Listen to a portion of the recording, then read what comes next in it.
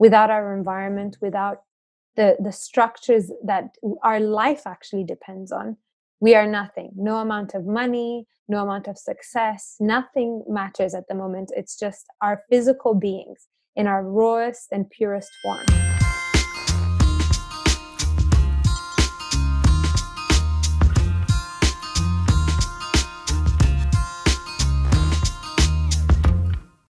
So my name is Line Hadsbjerg. I believe in the power of storytelling to help us cross the divide and to connect as human beings, but also to nature. And today we have someone very special talking with us um, Greta Iori, half Italian, half Ethiopian, based in London, um, a global citizen in many ways, but also a passionate uh, wildlife conservationist. And uh, you've been specifically focusing on wildlife crime. Um, it's always quite intriguing the moment one says wildlife crime and what, what, does that mean. So why don't you start by setting the scene for us? You know, what, yeah. You know, what's the crime scene here? Yes. So having grown up in Ethiopia, I was really brought up with the love and passion of the African savannah. So I stepped into the world of natural resource management and nature conservation, and my first job was in a national park called the Simien Mountains National Park. Um, and I, as it was one of the biggest tourism parks for the country, not so much for the big five and so on, but for the beautiful landscape and the endemic species that we find in Ethiopia, I started to see some of the challenges that were being faced. And one of the big ones was the conflict between humans and wildlife.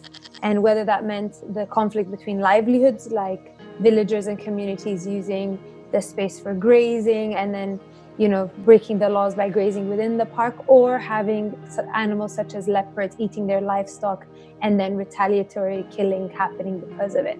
So this is how it all began. It started really with for my passion to protect big areas and the wildlife that live within it.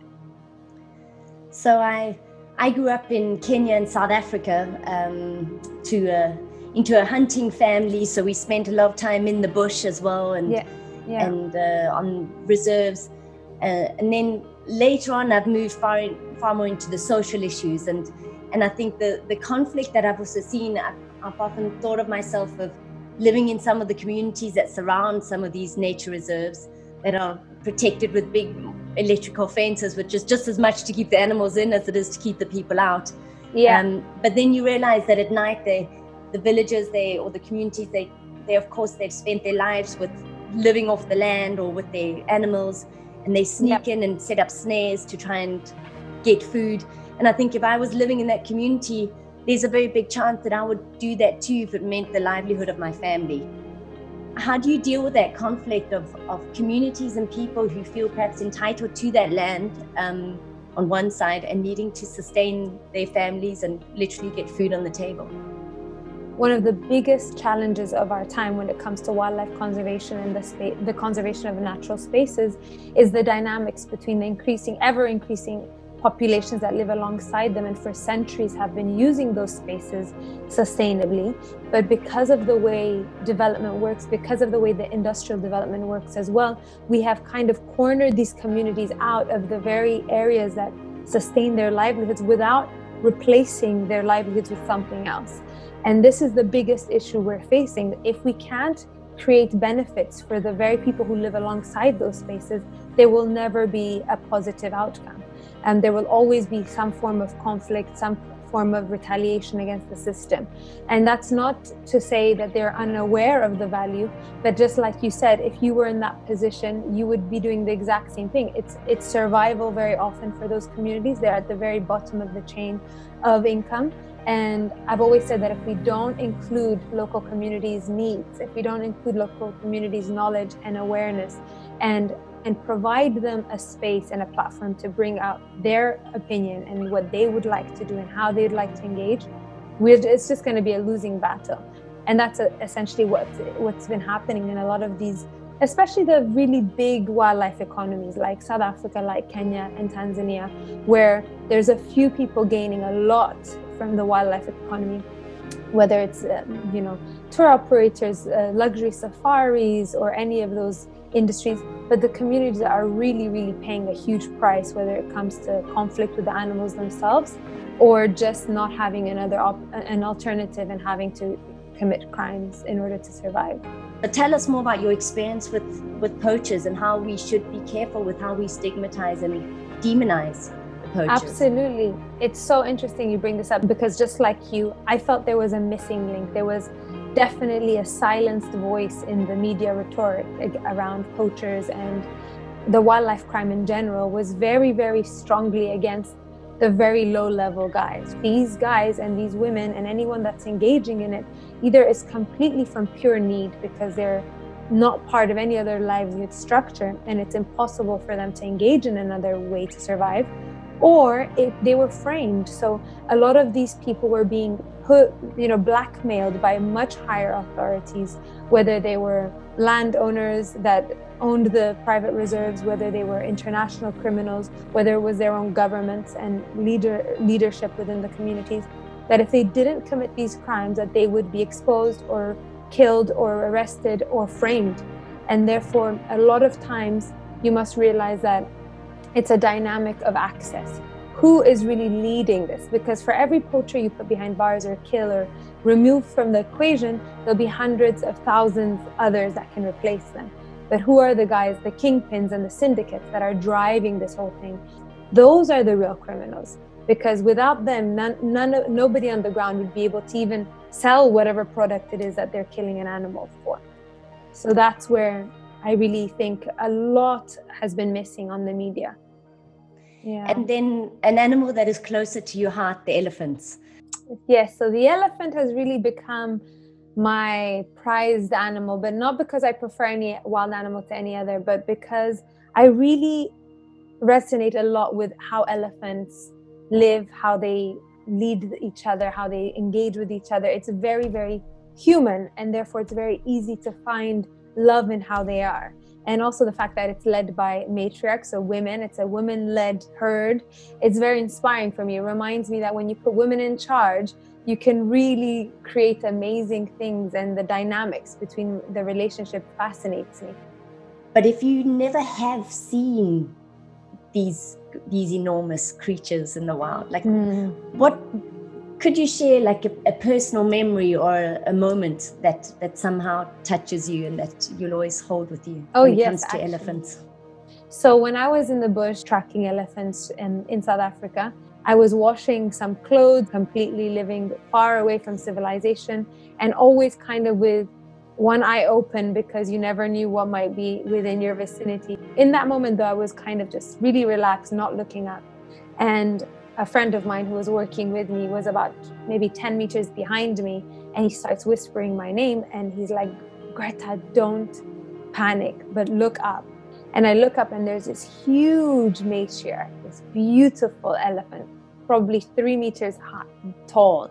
And she's about maybe two and a half meters away from me with this tiny fence just looking at me. And i'm crouched down so I, i'm literally a tiny ant and then there's this big elephant and i look up and i see the feet as soon as i look up and I, my heart starts pounding you know because although they're called gentle giants they're really really quite terrifying creatures. They're they're massive animals. And when you're in their presence you have a sense of respect and fear because you realize how small and helpless and vulnerable you really are. It's such a scary feeling to, there's nothing around me and obviously i don't want to startle her. So i look up but then i feel that I have to respect her, but also stand my ground. That's what we're taught when we're in the wild. If you ever come into contact with any dangerous animals, you should stand your ground and, and show your confidence, even if you're faking it.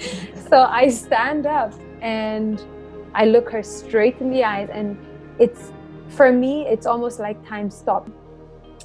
And it was a very calm but beautiful connection where she, with her eyes, showed me, you know, I'm not going to hurt you um, I respect that you've you know risen to the occasion and you haven't run away. So we stood there, and that is a feeling that reminds me that we're all one. We're all living creatures. We all understand each other on on a on a species level. There's a level of respect and understanding and love that I try and and, and wish people could feel more, because then they would recognize that wild animals, just because they don't look like us, they don't speak like us, doesn't make them any different to us without our environment, without the, the structures that our life actually depends on. We are nothing. No amount of money, no amount of success, nothing matters at the moment. It's just our physical beings in our rawest and purest form. Um, and I think that is something that we've lost touch with over the many years. And in nature is how we all reconnect to that. Whether you're a really successful CEO, whether you have a big mansion at home, none of that matters when you come face to face with nature. What What is your hope when we've we've had this moment, well, we're having this moment of pause, although it's not without suffering for many people. Um, yeah. When one re- when one comes to the afterlife of this time that we're in now with coronavirus, what is your hope in terms of how we our relationship to nature should be? My hope is that we don't forget where the coronavirus first stemmed from, which is a crucial piece of advice that people are not really focusing on. It all stemmed from the illegal wildlife trade and our consumption of it, and our and not reg, and no regulation of it. So all these pandemics and infectious diseases start from us unnaturally engaging and consuming wild animals and destroying habitats that we're not meant to as creatures. There's, it shows the lack of harmony in our current system. So coming out of this, I really hope that we don't forget the root cause of this and that we don't just treat the symptoms. We need to change the way we live our lives. We need to change the way we engage with our planet on the greater scale, not just with wild animals, but forests, ecosystems. Climate change is a huge threat that persists. So, how are we going to move forward from this and make the world a better place is a real important question that we all ask ourselves in our consume and consumption ways, the way that we consume. How are we going to fund lives and give life to products that actually do better for the world rather than just because you want it, you buy it and don't even think about the supply chain.